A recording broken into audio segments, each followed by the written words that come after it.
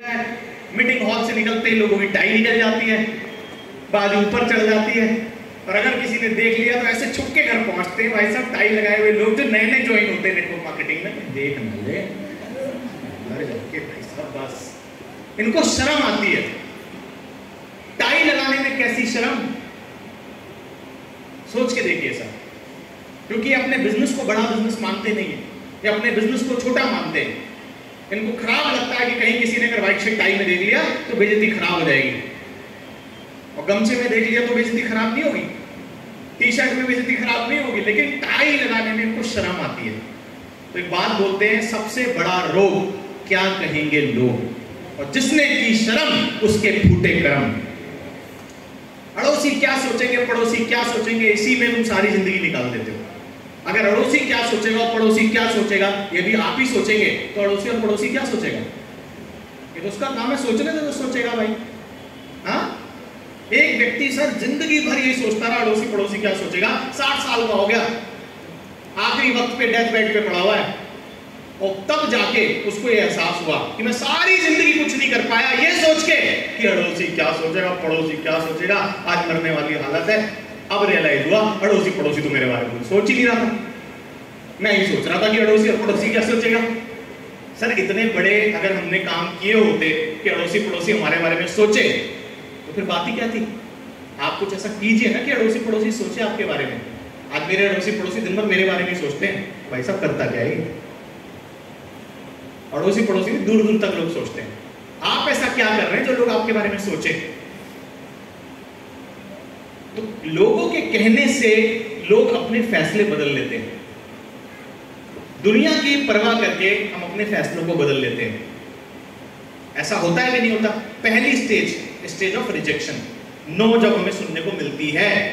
लेकिन हमको क्या सिखाया गया?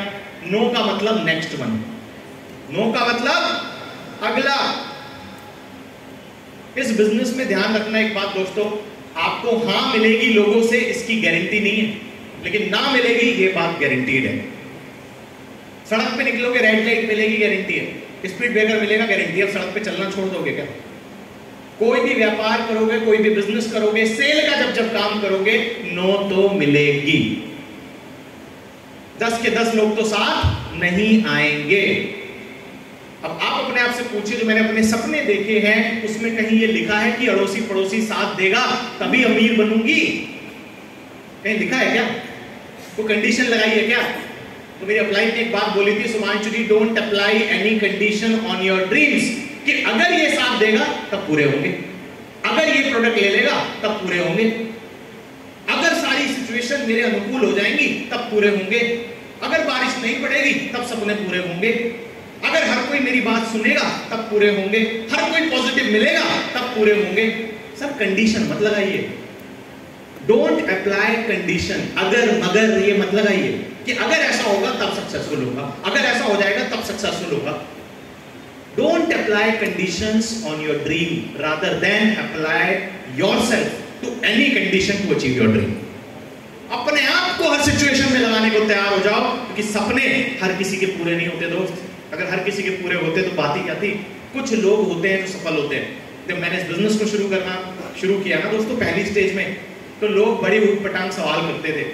क्यों शुरुआत के 90 दिनों में लोग गिव अप कर जाते हैं? क्योंकि ऐसे ऐसे भयानक खतरनाक सवाल उनको फेस करने को मिलते हैं, जिसके लिए वो रेडी नहीं होते। जैसे कि मेरे को कई लोग बोलते थे, हमारे भी भैया ने किया था ऐसा ही कुछ। हमारे भी मामा ने किया था, चाचा ने किया था, उन्होंने भी किया था, उनको कुछ नहीं हुआ। सुनने को मिलते कि नहीं?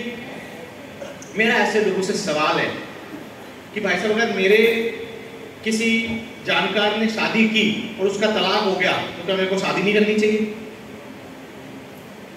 आप बताइए, करनी चाहिए कि नहीं? करनी चाहिए।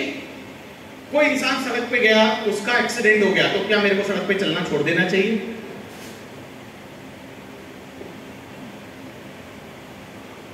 आप खुद सोचिए ना, कोई इंसान इंजीनियरिंग कर रहा है, उसमें फेल हो गया तो क्या मुझे भी इंजीनियरिंग बीच में से ही छोड़ देना चाहिए?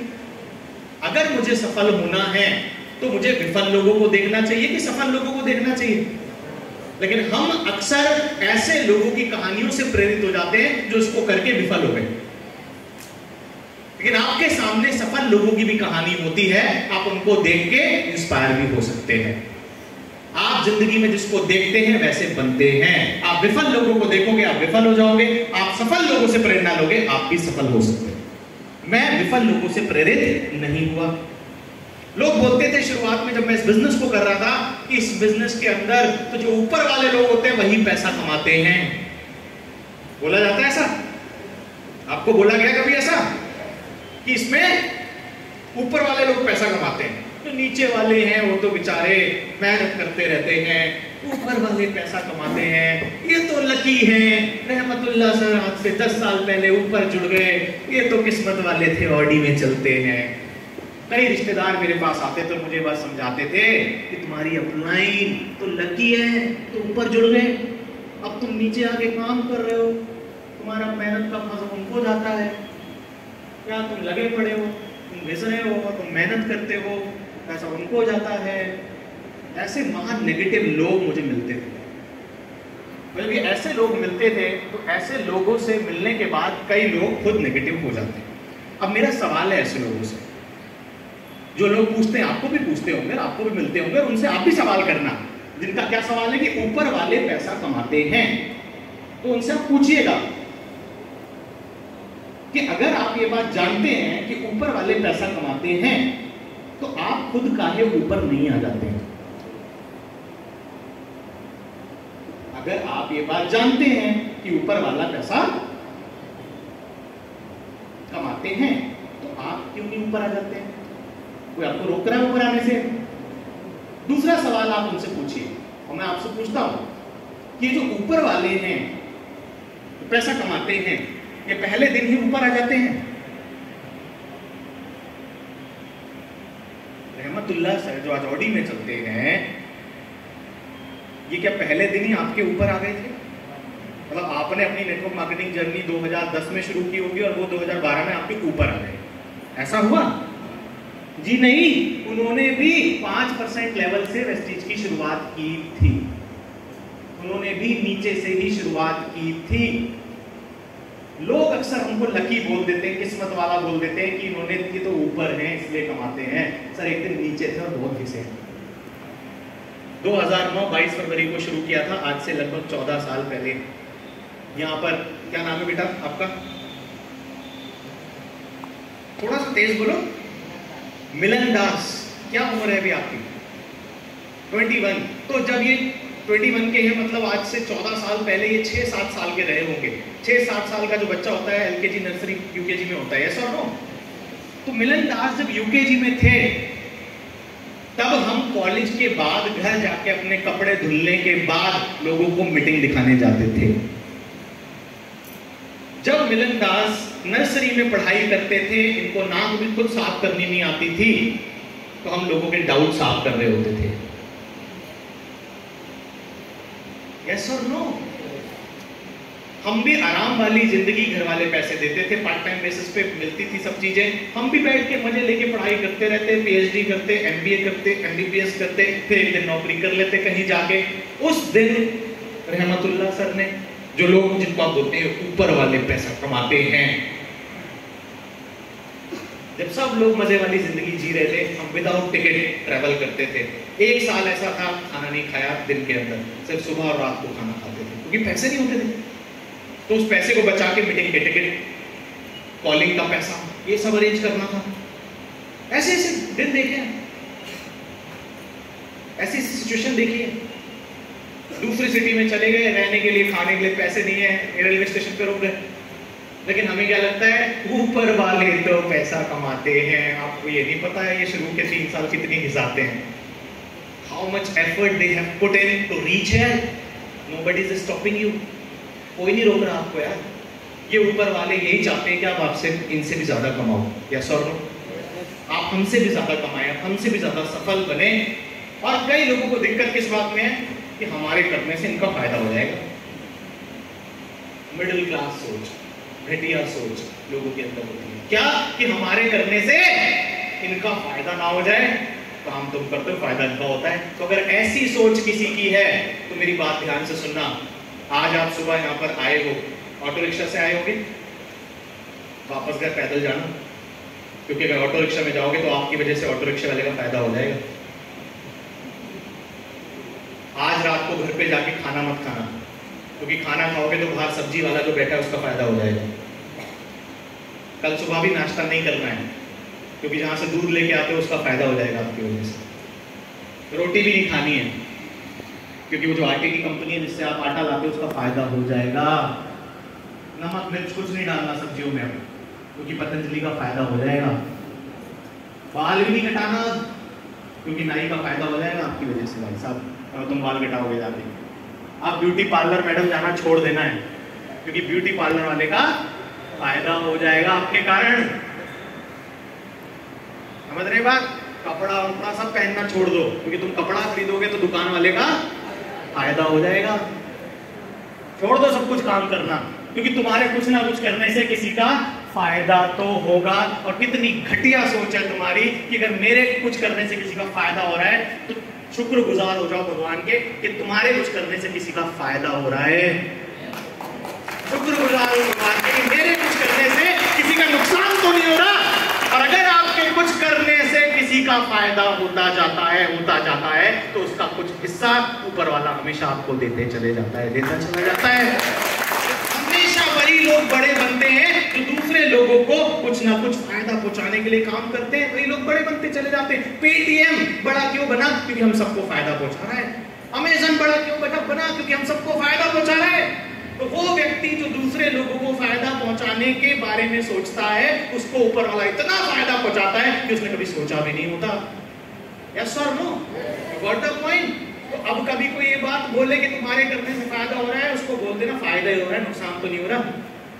अच्छी बात है ना प्राउड ऑफ़ दैट यस और नो तो ऐसे ऐसे प्रवृत्ति के लोग मिलते थे जो ऐसी ऐसी बातें करते थे भाई साहब।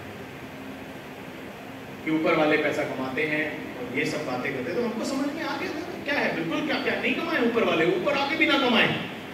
और ऊपर वाले नहीं कमाएँगे तो क्या बोलोगे? ऊपर वाले भी नहीं कमाते। हैं? तो चाहिए क्या भाई? कमाए ऊपर वाला, तब तुमको दिक्कत। नहीं कमाए, तब तुम नेगेटिव हो जाओगे कि ऊपर वाला भी नहीं कमाता।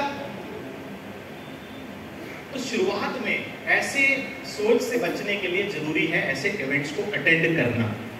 एजुकेशन लेना। लगातार ऐसे इवेंट्स में आइए, मैं जाता था। अपनी टीम को भी ऐसे इवेंट में लेके आइए। उससे क्या होगा? उनके मन के सवाल खत्म होंगे। उनके मन के डाउट खत्म होंगे। और जब टाइटेनिक में छोटा सा भी छेद था ना तो छोटे से भी छेद ने इतने बड़े जहाज़ को डुबा दिया था। तो छोटा सा डाउट भी अगर आपकी डाउनलाइन के मन में रह जाता है तो वो डूब जाता है।